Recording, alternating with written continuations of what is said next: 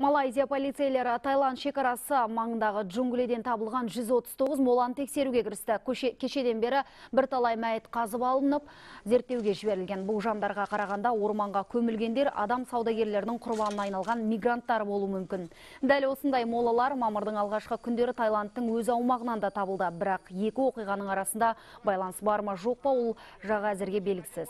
Жыл сайын адам саудагерлері бұл аймақта Мьянмадан қашқан мұсылмандарды лагерлерде ұстап, оларды босату үшін мыңдаған доллар ақша талап етеді.